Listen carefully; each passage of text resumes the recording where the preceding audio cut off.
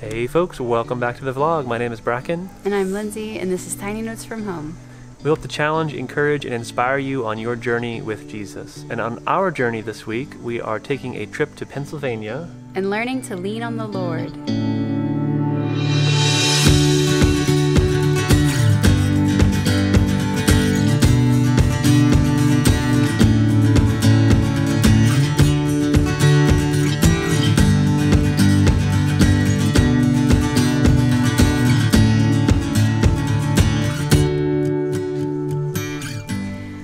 To Pennsylvania and we'll be in the Lancaster County area for about the next two weeks. So if you're in the area, we would love to try to connect.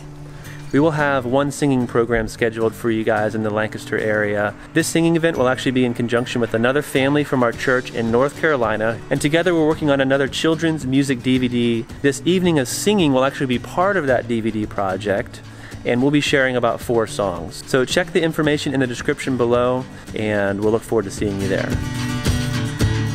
Also, we have a quick update from our Pilgrim Road Studio campaign.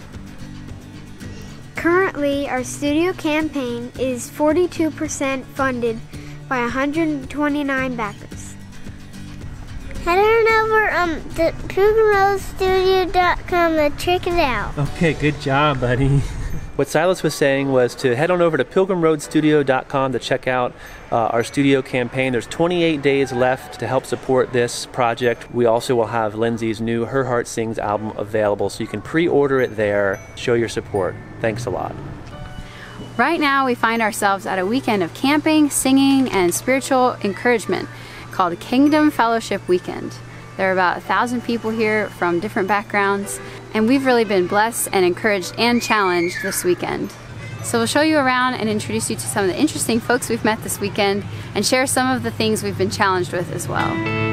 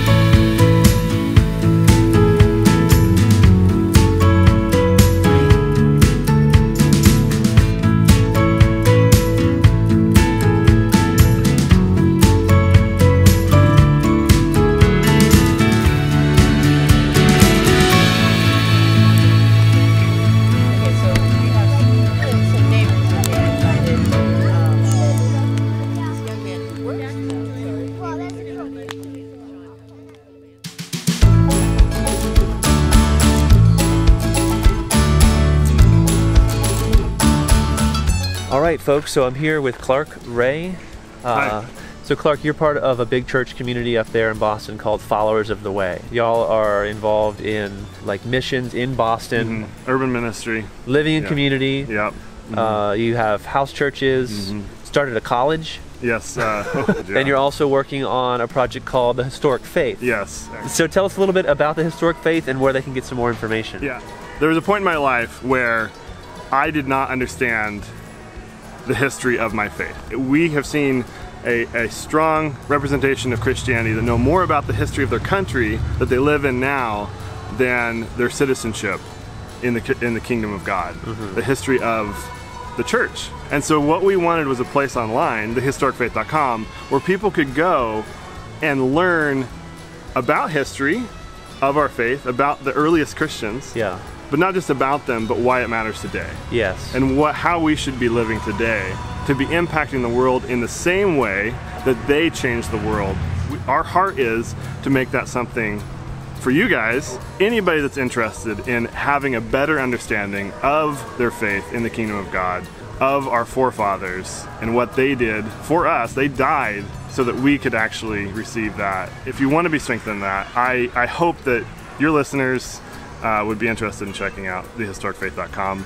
and I hope you'll be blessed by it. So for all of you that are homeschooling, this makes great curriculum for busy moms and dads. You know, you can listen to this stuff uh, while you're working around the house or whatever. Or just looking at, at the history of my faith has really opened my eyes, and I think it'll open your eyes too. So check it out, and thanks for sharing your time with us, Thank Clark. you. Be blessed. God bless you.